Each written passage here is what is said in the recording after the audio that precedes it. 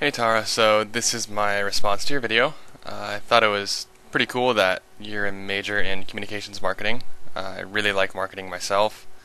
I just find it really interesting, really fascinating, advertising, kind of everything there. Uh, I think that's really cool that you decided to move to Hawaii from Long Beach, and I think that was really good that you decided to get out of the school when you didn't like it. I think that was definitely a really smart choice.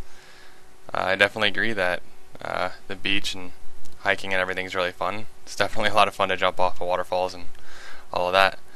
And I think it's really cool that you're also from California. Anyway.